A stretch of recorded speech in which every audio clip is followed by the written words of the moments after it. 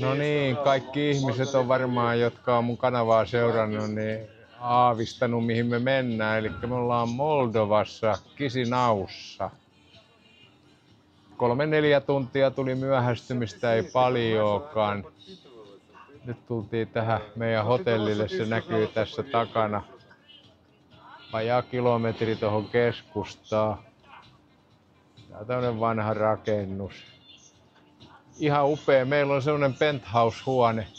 Kattoikkunat. Kattoikkunat siellä. Ja tässä on vastapäätä tämmönen aika kiva ravintola. Mä näytän nyt. Me ollaan tässä terassilla. Tilattiin sapuskat. Tässä on meidän aamupala myös. Mä kerron teille ihmiset, kun te äh, mietitte, että mikä on äh, Moldova. Me ollaan tässä Ukrainan syleilyssä. Moldovahan on vanha Bes-Arabia. Moldova, Moldovassa on äh, tai Moldovan pinta-ala on kol, noin 33 000 neljä kilometriä. Sen vanhan Bessarabian oli 44 000 about. Ja sillä oli oma ää, merirajaa tuonne Mustalle merelle. Nythän Moldovalla ei ole. Moldova on tunnettu viininviljelystä erityisesti nykyään ja se on yksi syy, minkä takia me nyt ollaan täällä. Siis me ollaan vähän kuvaamassa tätä viiniviljelystä ja ollaan maailman suurimmassa viinikellarista toista sataa kilometriä vanhassa suolakaivoksessa. Mutta sen verran vielä tästä, että tämä maa on tullut monta kertaa vähän niin kuin Puola esimerkiksi niin ylimarssittua, että vähän väliä tämä oli Venäjän vallassa, sitten oli Neuvostoliiton, taas oli niin kuin Romanian, Venäjän, Romanian.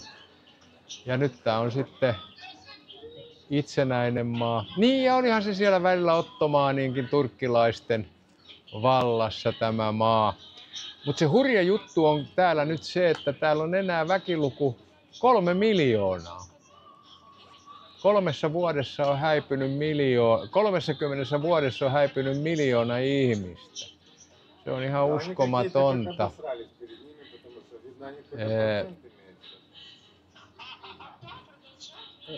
Se on myös erikoista, että puolet tästä kolmesta miljoonasta niin omaa Romanian passin. Eli heillä on niin kuin esimerkiksi Suomeen, Suomeen mahdollisuus tulla Schengen perustellaan vaikka töihin. Ja niin kuin tulikin tuolta Latviastakin tuli näitä moldovialaisia, jotka sanoo, että on näissä EU-maissa töissä, koska heillä on Romanian passi. Kyllä tämä on niin jännä maa. Sen mä haluan vielä kertoa, että täällä on herranen aika. Täällä on lämmin ja kuuma. Tuossa Tania jo hikoilee. Oh. Mitä sä oot hukannut? Ah, huoneen avaimet, joo. No, kyllä me päästään sinne, joo. Tähän ei kuulu Euroopan unioniin eikä muuhun, niin ylivoimaisesti halvin maan myös turistille. Mä en halua sitä korostaa juurikaan, että sen takiahan me ei täällä olla. Tilattiin viiniä. Näillä mennään. Huomenna alkaa työn touhu. Kiitos.